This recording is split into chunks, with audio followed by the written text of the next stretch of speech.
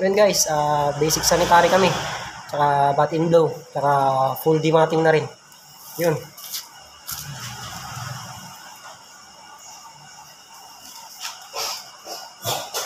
Tsaka kasama na rin yung tugkit doon.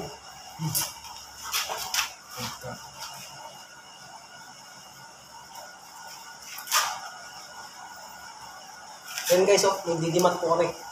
Naalis po namin yung mga exist na balahibo. Ayan, oh. Yan, para ito yung nagka, pagka naipon kasi ito yung nagkakaroon ng cause ng pag ano, pag, ah, pag mga buhol-buhol.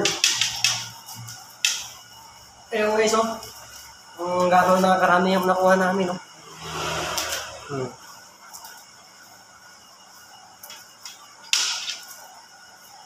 Sa mga gustong magpa-home service dyan ng bat and blow, tsaka basic sanitary, tsaka full dematting, ah, comment down below na lang guys. Thank you.